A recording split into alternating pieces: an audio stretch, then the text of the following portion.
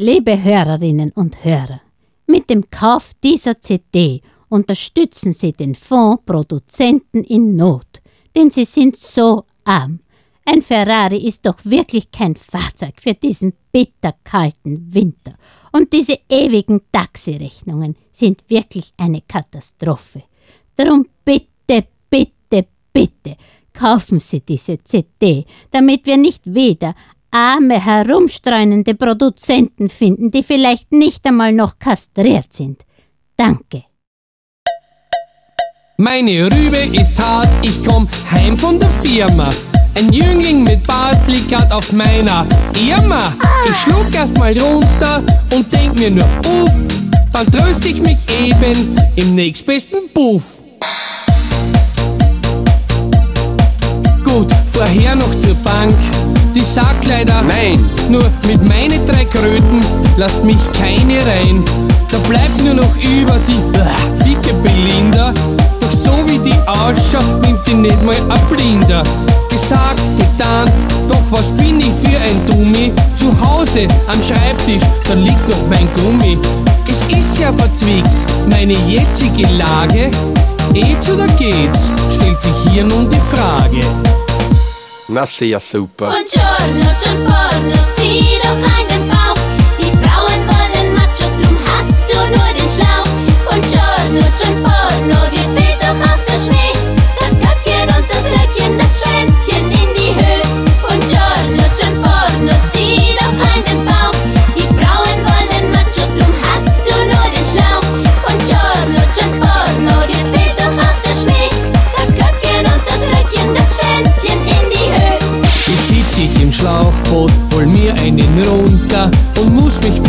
weil das Schlauchboot geht unter. Jetzt schrei ich um Hilfe! Es kommt ja die Sandy, sie nimmt meine Hand und rettet mein Handy. Im Spital werd ich munter, erwach grad vom Koma, im Bett gegenüber.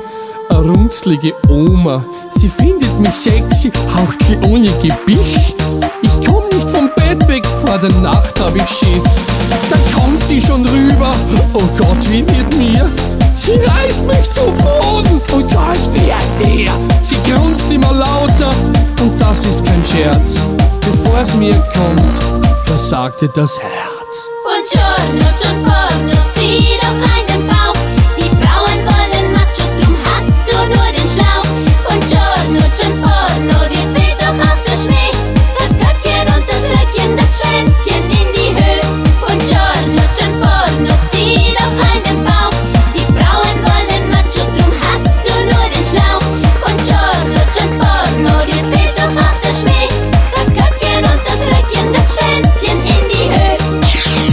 Na sehr super. Ich werd endlich munter, alles war nur ein Traum. Am Schreibtisch der Playboy, die Hand um den Baum. Vor mir steht mein Chef, der meint kurz und bündig. Büroschlaf in Ehren? Doch jetzt sind sie gekündigt. So, jetzt nehme ich den Playboy, geheim von der Firma. Und ein Jüngling mit Bart liegt grad auf meiner Irma. Ich schluck erstmal runter und denk wieder uff. Dann tröst ich mich eben im nächstbesten Buff. Buongiorno, John Porno, zieh doch einen Bauch.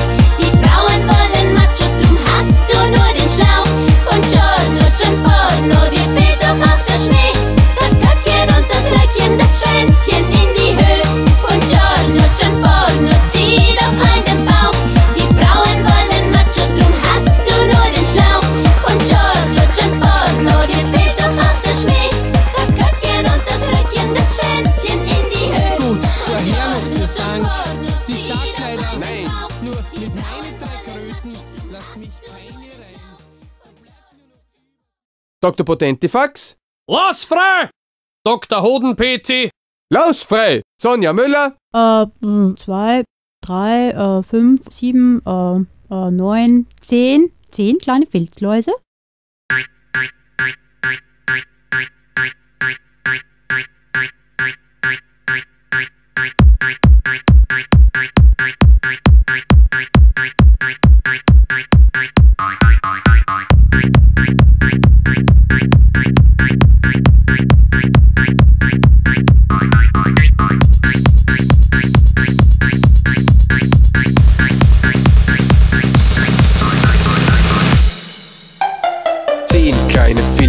Filzläuse hangen auf dem Sack. Eine stürzte plötzlich ab und brach sich gleich das Knack. Neun kleine Filzläuse labten sich am Sekt. Einem war die Natur zu viel, es ist daran verreckt. Acht kleine Filzläuse flüchteten vor Blut. Doch eins hat der OB erwischt, das tat ihm nicht so gut. Sieben kleine Filzläuse wechselten die Frau. Sechs von ihnen waren gesund, eins hatte HIV. Filzlaus, komm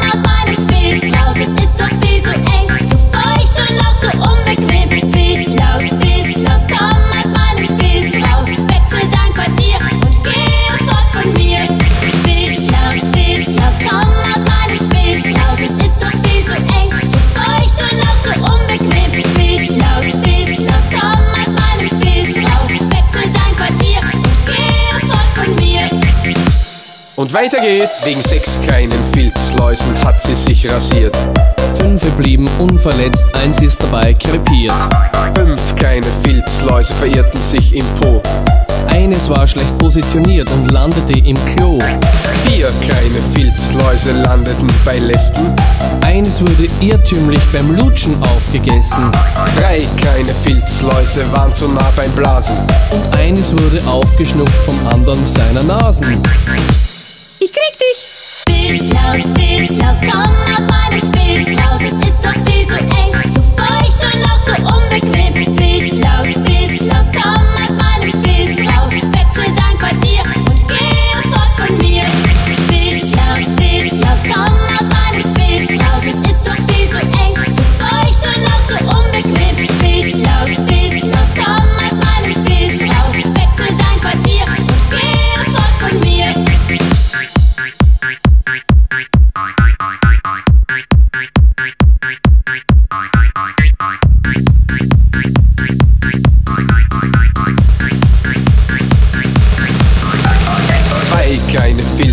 Filzläuse hatten zu viel Sex. Eines wurde schwanger, das andere, das ging ex. Eine kleine Filzlaus wollte noch nicht gehen. Da schlüpften neue Nissen aus, da waren's wieder zehn. Filzlaus, Filzlaus, komm aus meinem Filzlaus.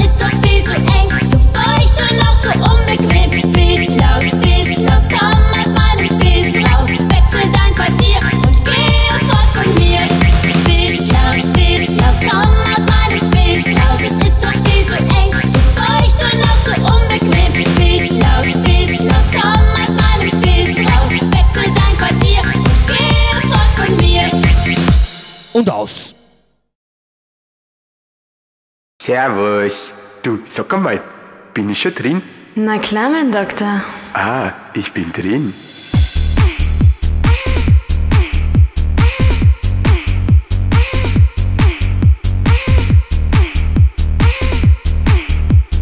Ähm, bin ich schon drin? Na, nicht wirklich.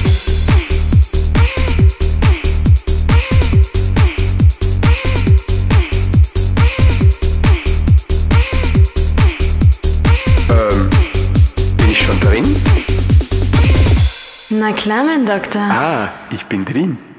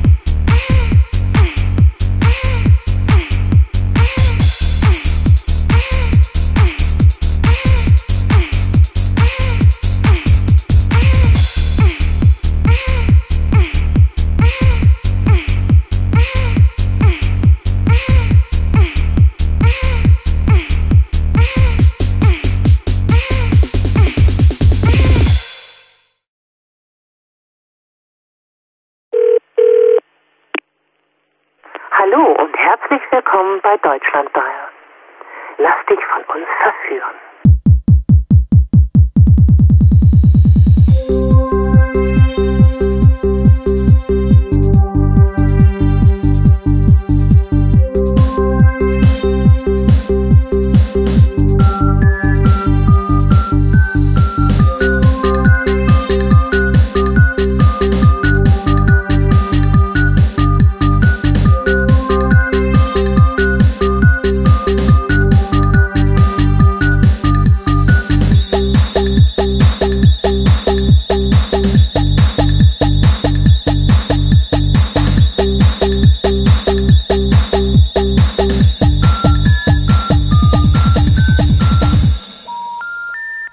Anschluss unter dieser Nummer.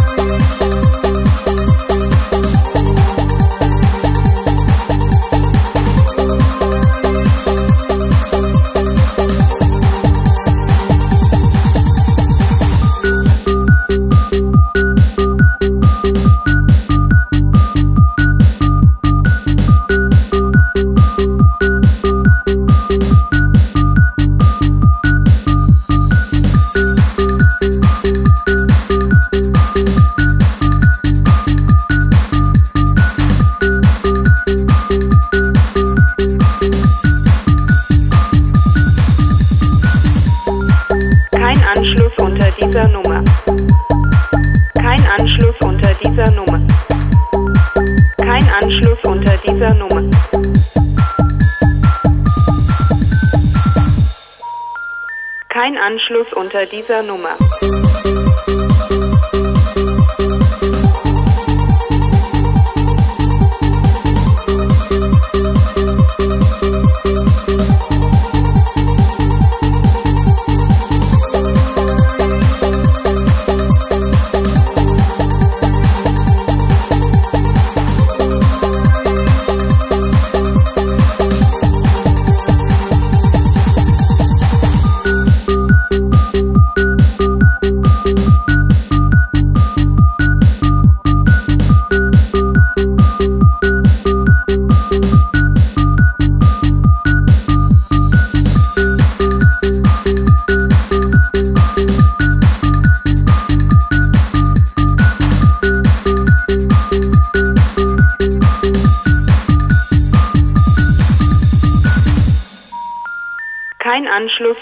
Unter dieser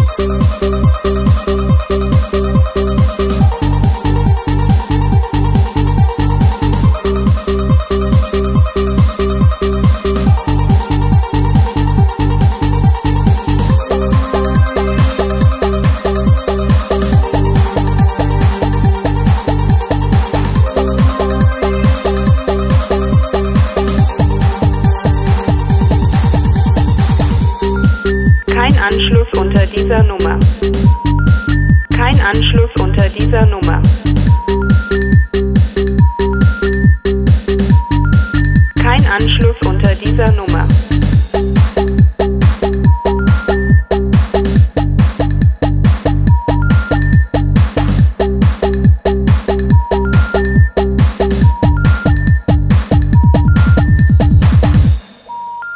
Kein Anschluss unter dieser Nummer. Hallo, ich bin Dr. Potenkelfax. Meine Hobbys sind Kicken und Kegeln, aber leider habe ich einen Sprachkehler.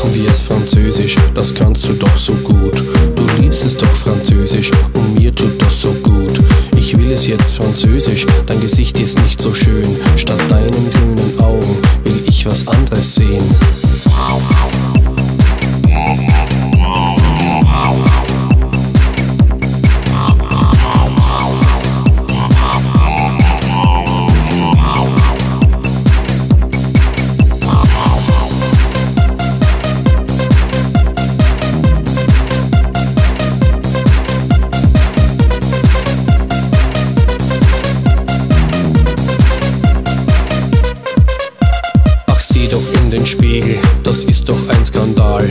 Mit dir geht's nur Französisch oder maximal anal. Jetzt mach doch schon das Licht aus, du bist nun mal kein Reh.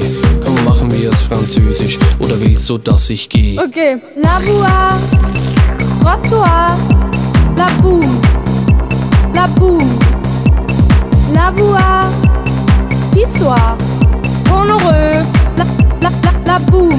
Oups, l'imbécile,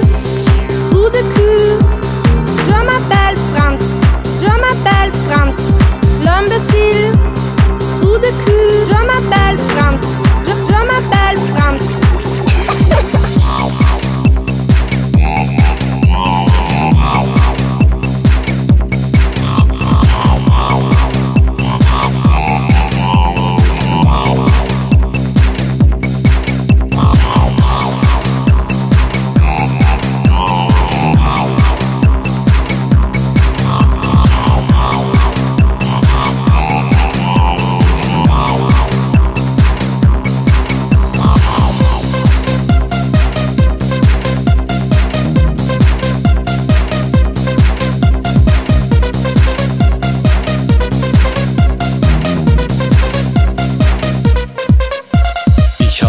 Zeit verschwendet, zwei Stunden war ich hier und hab auch noch bezahlt, dein Essen und zwei Bier. Du kannst nicht mal Französisch, du hast auch kein Geld. Du bist keine Schönheit, wozu bist du auf der Welt?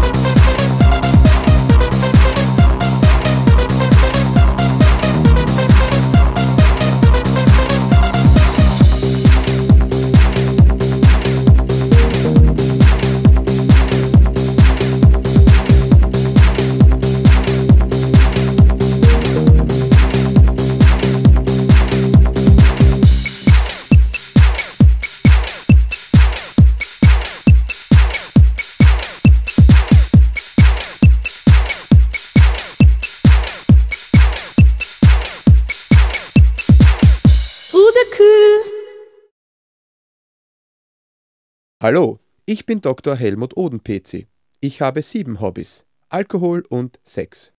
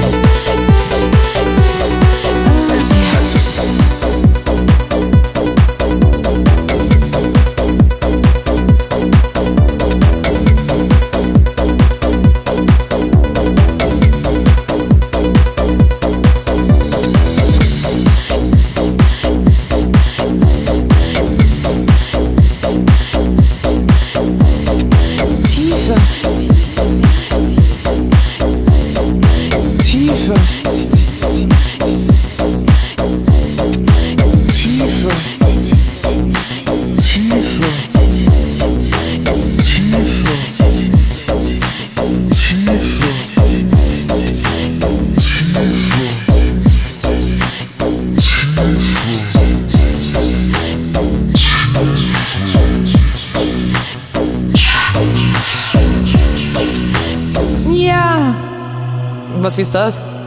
Das war's dann. Aber Herr Doktor, mich juckt verdammt die Dose, mich juckt verdammt die Dose, mich juckt verdammt die Dose. Mm, äh. Mich juckt verdammt die Dose, mich juckt verdammt die Dose. Mm, äh. Rein mit ihm. Yeah.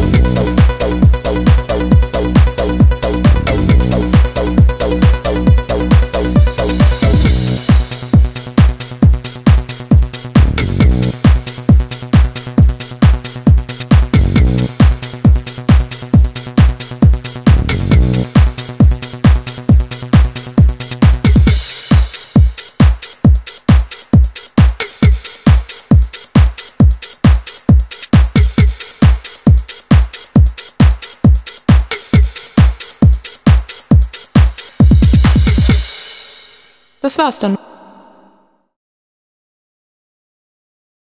Pack ihn ein, pack ihn aus.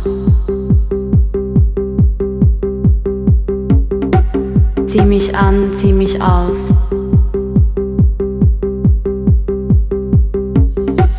Steck ihn rein, zieh ihn raus.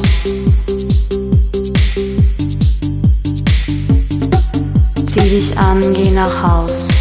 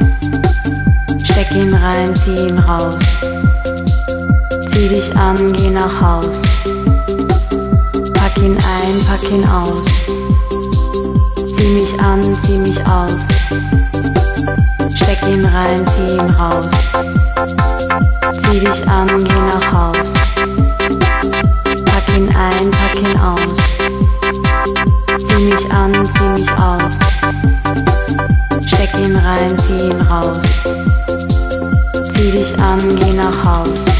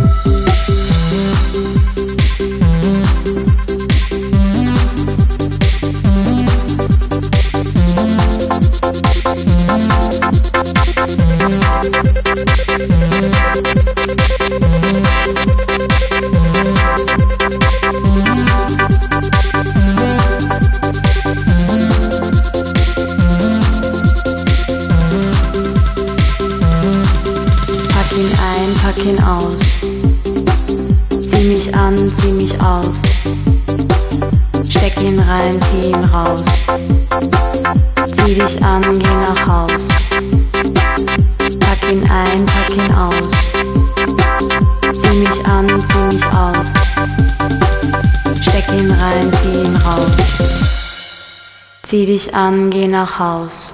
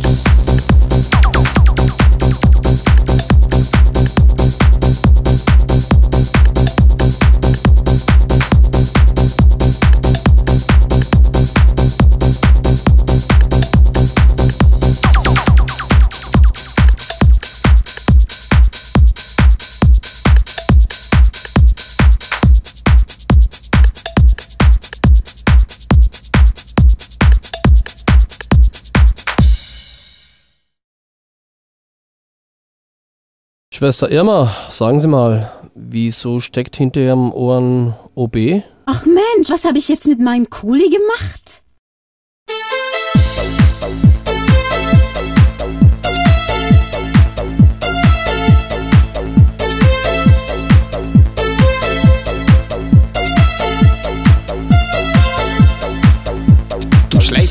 Heimlich aufs WC, neidisch mein Blick auf den OB. Ganz ohne Scheu packst du ihn aus und schwupps hängt nur das Schnürchen raus.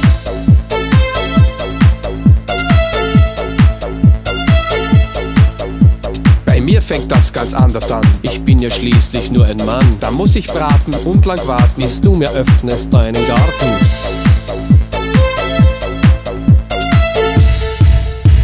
Da denk ich mir doch jedes Mal.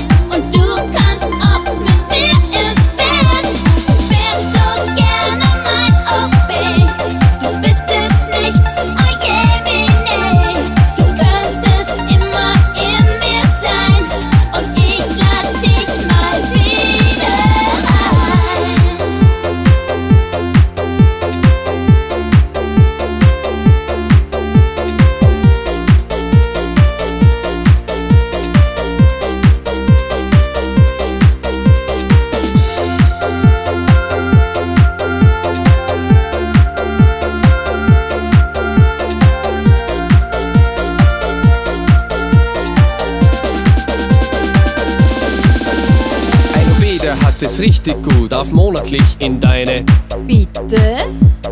Hand.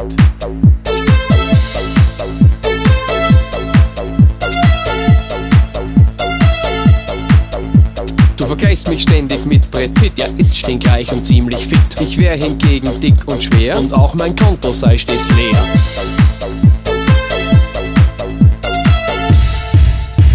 Da denk ich mir doch jedes Mal. Du wärst so gerne mein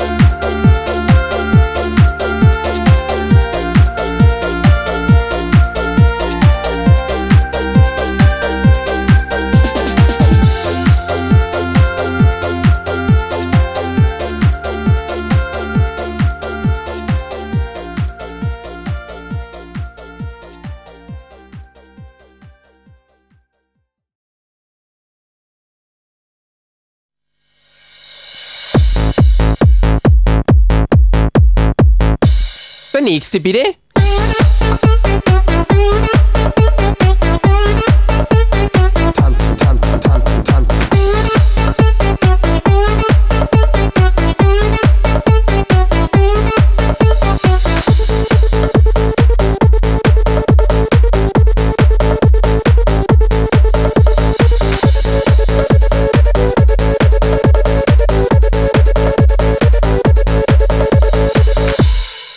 Nächste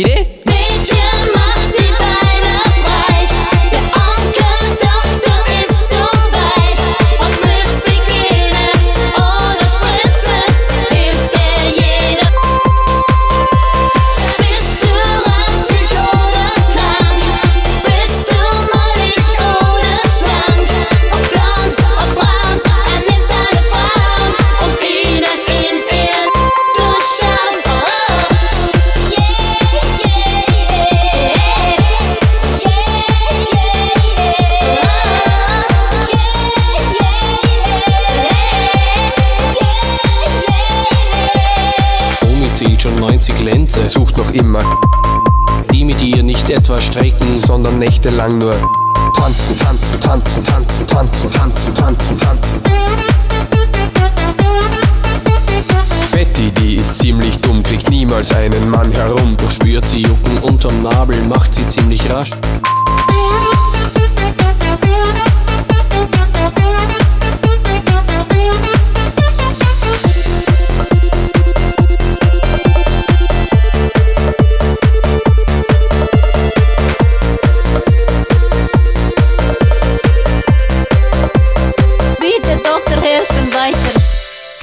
때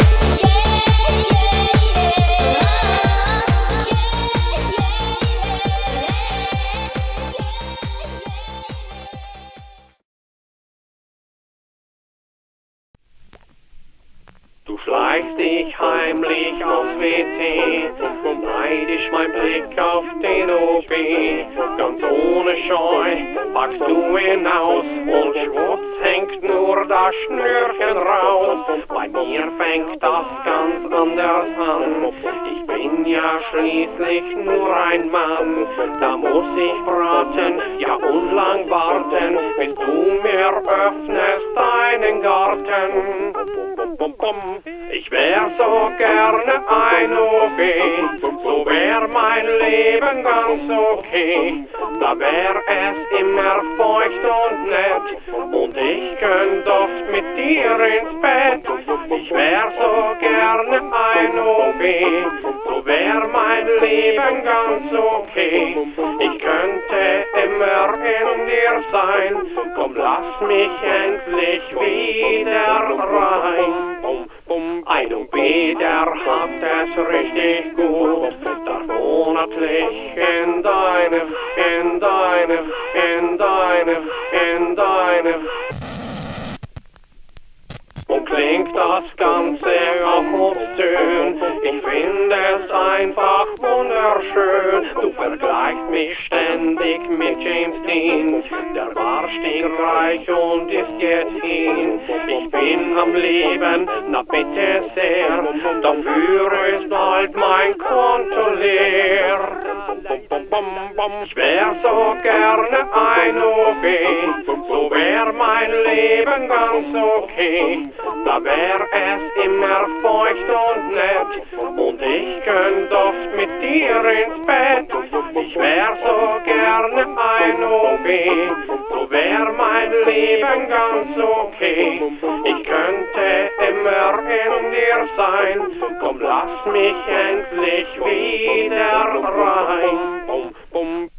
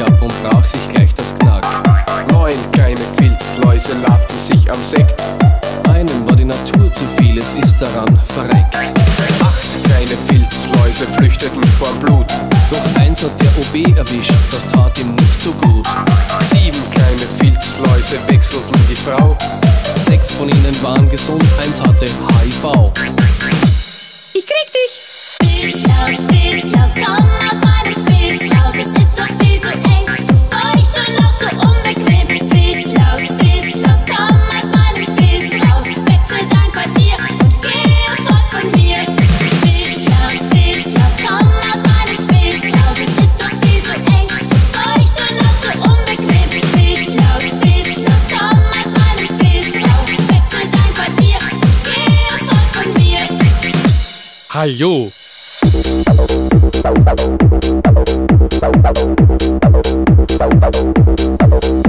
Du schlägst dich heimlich aufs WC, neidisch mein Blick auf den OB. Ganz ohne Scheu packst du ihn aus und schwupps hängt nur das Schnürchen raus.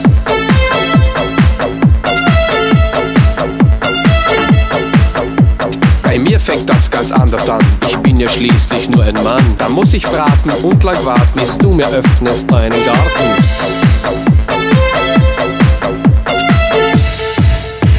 Da denk ich mir doch jedes Mal.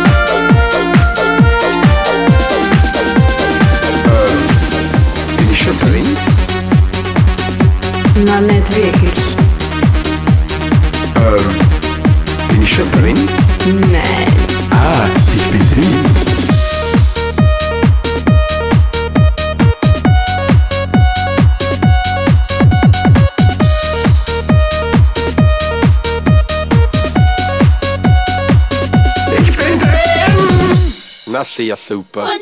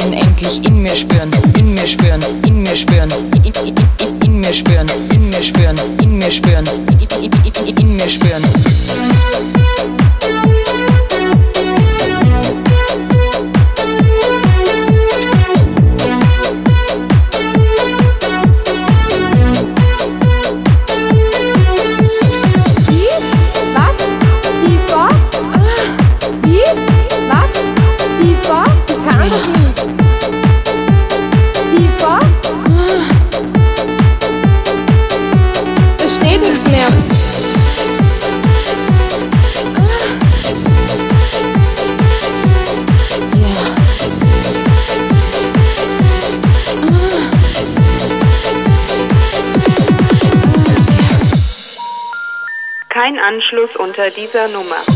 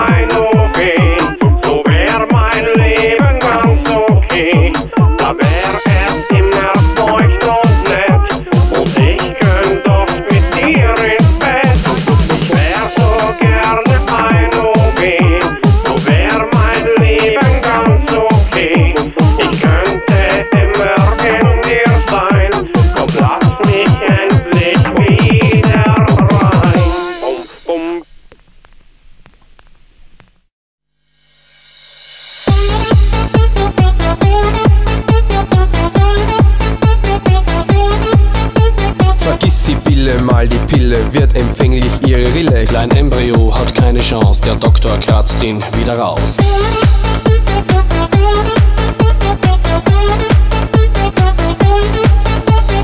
Evi ist nicht mehr ganz frisch, ihr Mäuschen stinkt nach toten Fisch. Jetzt hat sie drin den Wunderbaum, Vanilleduft im ganzen Raum.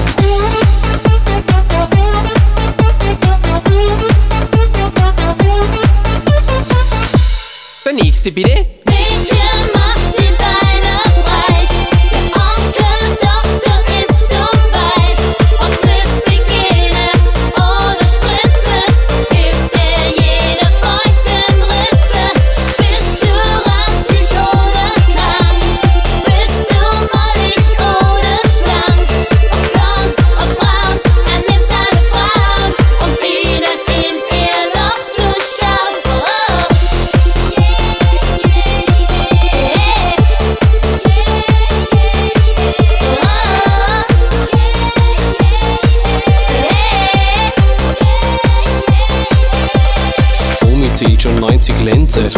immer geile Schwänze, die mit ihr nicht etwa strecken, sondern nächtelang nur tanzen, tanzen, tanzen, tanzen, tanzen, tanzen, tanzen, tanzen. Betty, die ist ziemlich dumm, kriegt niemals einen Mann herum, doch spürt sie Jucken unterm Nabel, macht sie ziemlich rasch die Gabel.